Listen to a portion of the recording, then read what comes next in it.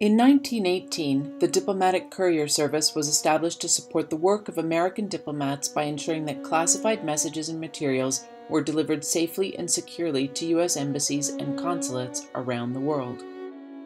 Over the hundred year history of the Courier Service, this core mission has not changed and remains critical to the national security of the United States. Before the onset of the jet age, this small group of couriers traveled tens of thousands of miles per year, often spending months on the road. Following World War II, relations between the United States and the Soviet Union, once allies, were increasingly strained and grew into what became known as the Cold War. Even during these complicated times, a mutual respect for international conventions on diplomatic relations meant that the couriers were among the few still able to travel into the Soviet Union. Making the trip from Helsinki into Moscow several times a week, they brought the diplomatic pouch with classified correspondence from Washington, news from the West, and even personal mail.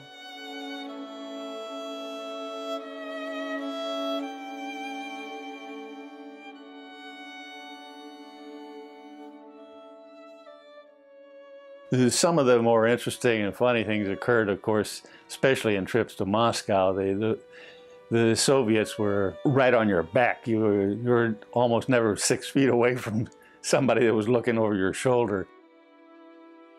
We served the, the Soviet Union by uh, what we called a satellite office in Helsinki. But Helsinki is very unique, there's no question about it. You go there in the winter months and they have a sign that says, Welcome to Santa Claus land. And that's where, in a sense, you feel a lot of ice and snow. But it's a beautiful country. Every time I had the Helsinki detail, it was always in December, January, February. So I have a, probably a different perspective on this than the guys who did it in June, July, and August. But we had a lot of fun there in, in the meantime.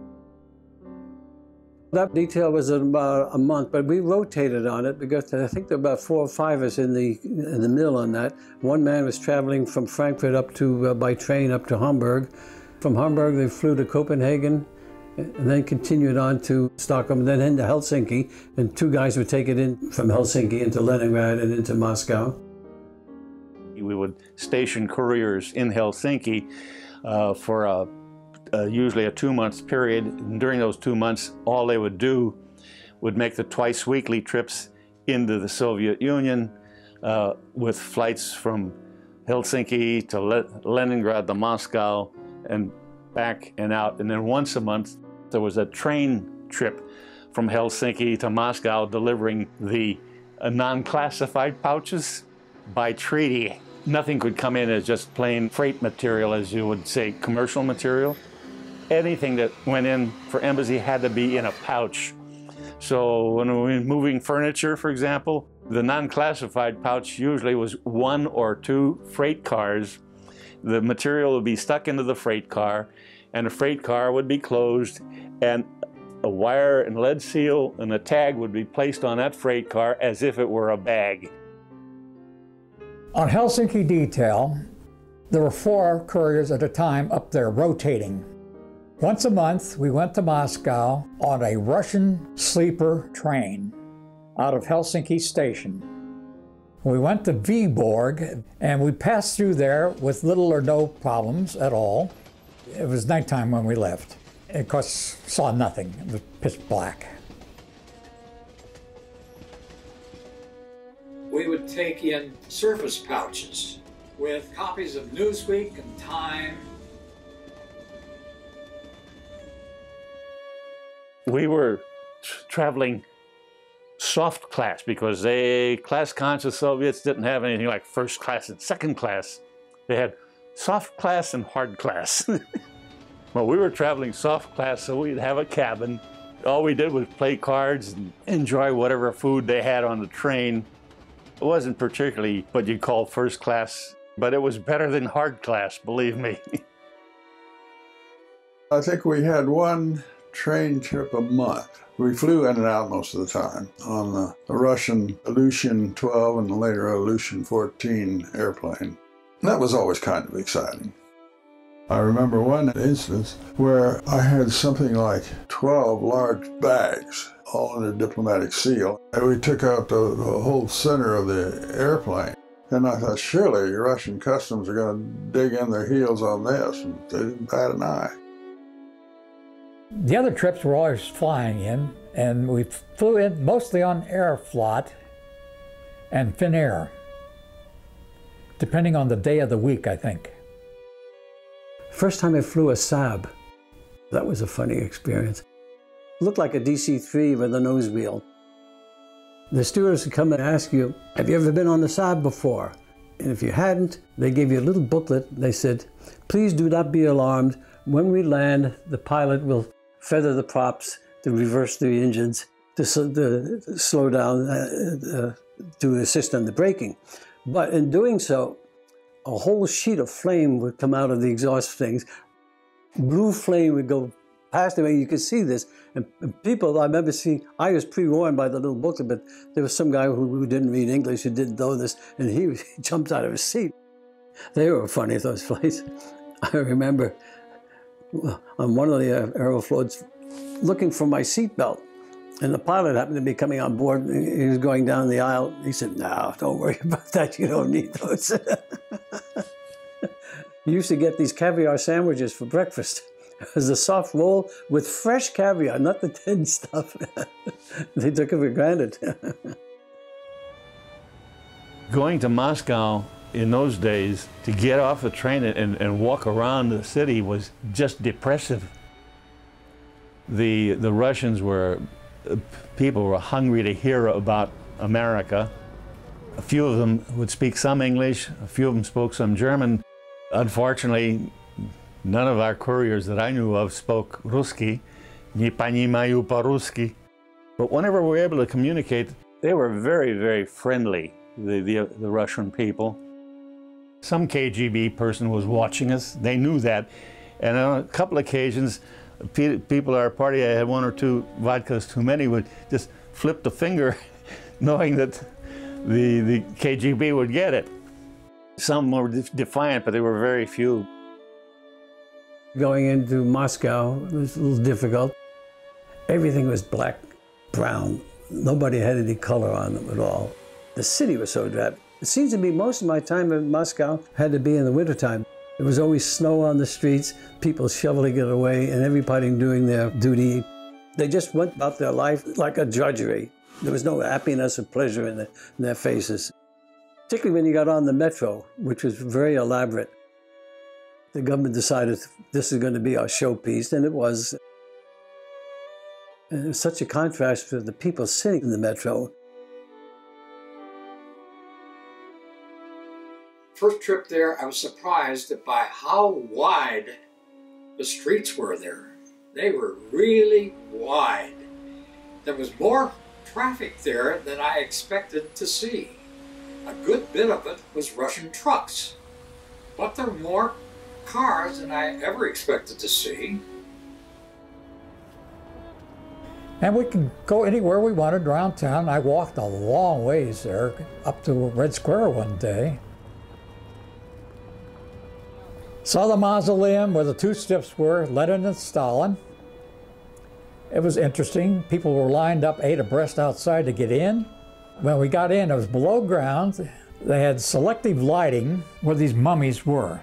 They looked very lifelike, both of them. Stalin was somewhat shorter than I expected. He was only about five three or 4. Lenin looked exactly like all the pictures I'd ever seen of him. Goatee, the whole thing. And he looked very natural. We were respectful. I wasn't sad at all. The others were, because that's the way they were there. This is all they knew. This was their life since 1917. And this is 1957. 40 year anniversary that year. It was interesting, to say the least. we had this uh, propusk, which uh, allowed us to jump the line and get into the mausoleum to see Lenin and Stalin. Russians from outside of Moscow were allowed at least once a year to come to Moscow on their internal passport. And there were huge lines in all kinds of weather. One of the hotels we had was near Red Square. And uh, after dinner, I walked over to uh, where the mausoleum is. for Lenin and Stalin and to watch the changing of the guard. And as I was uh, watching there, a man nudged up to me and said, uh, You American? Yeah. He said, That's a nice coat you're wearing. He said, You want to sell it to me? I said, No, it's the only coat I've got. He said, Do you have any jeans? I said, Look, this is a sacred place. We're right here for the changing of the guard. We're in front of the mausoleum for Lenin and Stalin and you want to do this? He says, why not? what better place? No, I didn't sell him anything or give him anything. But I was really shocked about this situation, really. yeah, I, I said, well, free enterprise. We've got it right here. But the whole Kremlin, we were allowed to see the museum and so on. And then across the way, they had the um, GUM department store. We got to go into the Kremlin at one time on a, some kind of an embassy tour. It was an unusual happening. We were shown a typical dining room in the Tsar's palace. I think they wanted to impress us with how high on the hog the nobility lived as opposed to the peasants. There weren't that many tourists in Moscow in those days, outsiders. I went through St. Basil's Cathedral, on Red Square, which I found fascinating for several things. There were no church services being held in there, but it was quite pretty inside, besides being beautiful outside. There was a store there called GUM, G U M. I don't know what it stood for in Russian. I bought caviar there and hauled the caviar out to Helsinki where we had parties with it. and it was delicious beluga caviar. Really delightful. I did get to go to GUM, the big department store, one time. sort of an exercise in futility. Huge lines at every counter. There's a shortage of everything. The huge department store was a depressing sort of place. There were only limited things that we could really find of interest, even though we had a good exchange rate. Musical instruments were rather cheap, or some books. English books because they didn't recognize the copyrights. One of the interesting things was Russian caviar. Because The caviar was from virgin sturgeon, they said. That was the best tasting. There really wasn't a heck of a lot to buy. In the men's shoe department, they had four sizes of shoes and two colors, black and brown. Apparently they bought the size a little bigger so they could stuff paper or whatever in so that the shoe would fit. In 90% of the different stands, say in the women's department for dresses or stockings and stuff like that, they would have on display, but they have no product available to sell.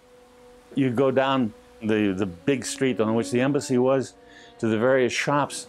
You go to the shop that sold bread and you'd look in there and there's no bread, but there'd be a line of people going around the block. It was very depressing to see people there. The pricing situation was ridiculous. We could get seats to the Bolshoi in the first eight rows for what it cost you to buy an egg if there was one available in the market. I remember it was 32 rubles for the, the, the seats at the Bolshoi and 32 or 34 rubles to buy an egg. We spent the afternoon walking around Red Square. We'd always get tickets to go to the Bolshoi and Stanislavski. I remember coming out of an intermission at the Bolshoi. I guess we were watching some big ballet. The best seats are the first row of that center balcony. And right in the first row of that, sitting up above us was Khrushchev and Bulganin. Bulganin was the official uh, head, and Khrushchev was the chairman. We were that close to him. The balcony is only like that high from the ceiling of this room. There's a great amusement area, Gorky Park. Very nice with the Ferris wheel that they had there. It was a, a fun place. A lot of people with their children there also. They had games, swings, and so on for them. Chess was a big game because they're very skilled individuals using all these well known moves. And then people surrounding these chess players watching them and going, ooh, ah. It was light, uh, fun. Moscow generally because of the lighting and because of the atmospheric conditions, the way the buildings weren't properly maintained, had a drab atmosphere to it. This was a, a ray of sunshine, particularly during the spring and summer months. And a favorite among them was eating ice cream, because I understand Mikoyan, one of the Russian premiers, visited the United States and he liked ice cream. He brought ice cream machines back to Russia. And Russians, even you got four or five feet of snow, are out there eating a, a cone of ice cream. We used to stay in that place called the Amerikansky Dome, American House. Good distance walk from the embassy. That was away from the embassy itself. Uh, it was about a mile down the road. There was a building with mostly the um, uh, military air attache people, um, uh, the staff, the sergeants and uh, all that. But that was a big uh, center of, uh, of life for the Americans. That was everybody, even the staff from the embassy went down there, and there was mostly bachelors in there. Over at Amerikansky Dome was America House, which was about two, three miles away from the embassy and was on the Moscow River, uh, pretty much opposite the entry to Gorky Park. Uh, and, and Amerikansky Dome is where uh, the single personnel lived. The girls that were so-called maids to do the cleaning service and, and the uh, maids at, uh, in the uh, cafeteria at Amerikansky Dome were all striking beauties. Believe me, in the America House, Amerikansky Dome, we had two or three Russian women who served our meals at the um, restaurant there. One was called uh, Tanya, and she spoke very good English, and her ears were wide open at all times, listening to the conversations around those tables. And we'd walk in and we'd say, Do svidanya, Tanya. and the Amerikansky Dome was a nice looking woman who worked there as a waitress and everything. Tanya, her name was. So I made a big spiel to her, and all she said was, and her response was, You want soup? That's all I heard after that. Vince, do you want, do you want soup? We stayed uh, initially at that time, the so-called Amerikansky Dome, which was a housing area, separate from the embassy, but it was an embassy place. Uh, we had food there that was served by a Russian, very, very interesting woman. Uh, some of the fellows tried to date her and so on, and she would never budge and say, Zoop, Vince, Zoop, more Zoop for you? The Amerikansky Dome, by the way, was the, the social center for all of the diplomatic personnel in Moscow. Every night at Amerikansky Dome, we were showing some American movies, so we always had a lot of the diplomatic corps would be coming in the, to see the movie. Once a week, they held open house there for the Western foreign embassies, Brits, uh, the Swedes, the Finns, whoever, you know, Germans, for bingo. One night, there was a terrible noise out on the side of this building toward the Moscow River. And we all looked out, and here it was the Russians practicing for their Independence Day celebration, so-called Independence Day celebration, in November on the anniversary of the Russian Revolution. They rolled tanks by us, they rolled armored cars by us, they rolled great big huge guns on uh, flatbed trucks and all kinds of stuff, making this clamorous noise for a couple of hours, practicing for the spontaneous demonstration that was going to be two weeks later in Red Square.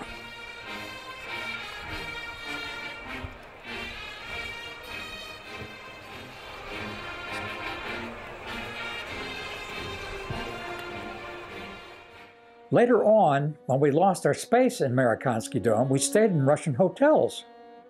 And there were women uh, uh, overseers on each of the floors, I'm sure they kept sure that we didn't go anyplace.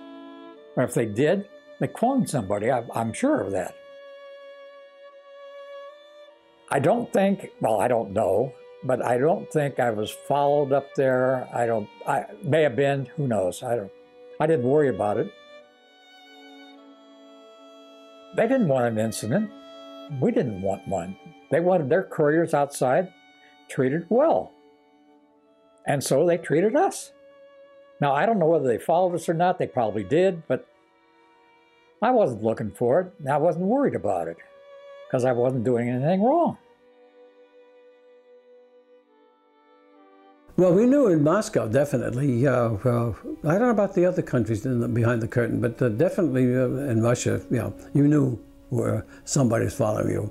Uh, uh, wherever you went, somebody kept an eye on you. you know, uh, and of course, you stood out too in those days. You know, your dress, for one thing.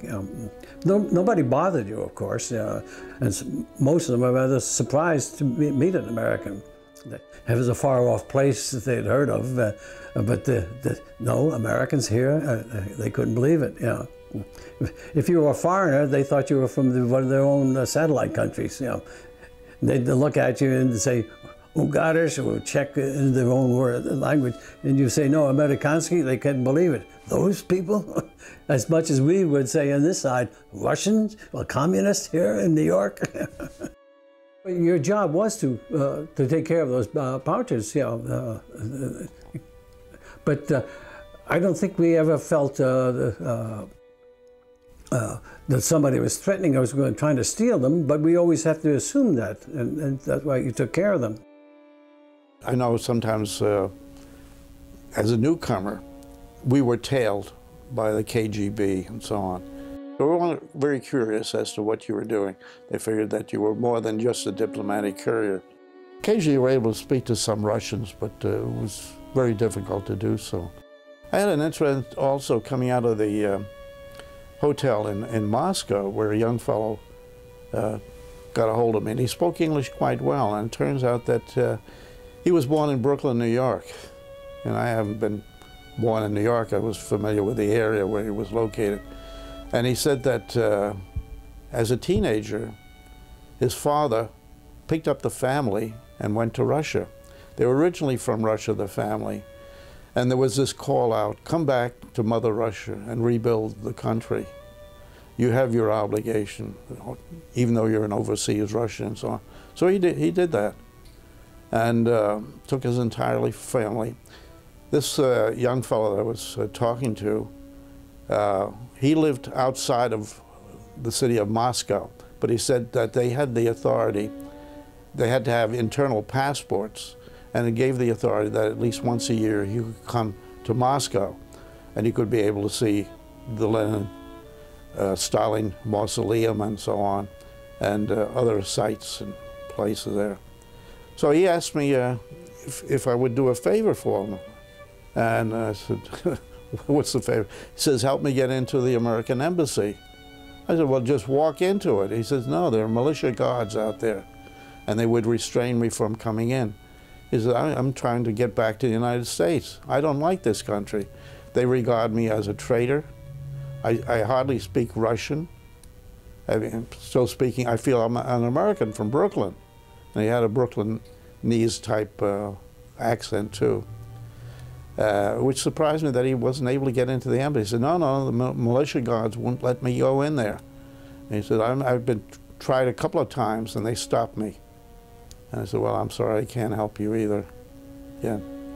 So was it a case of entrapment or so on? I don't know. A very sympathetic sort of arrangement, too, that he didn't have access to go back to the place of his birth. Because it's part of our basic nature to help others, even though they are strangers. Yeah. But it was fun, Moscow. We, uh, you try to enjoy it because we were in there a lot. Couldn't wait to get back to Helsinki. And it's another thing on the train, the difference, how you notice. Then you cross the border into Russia.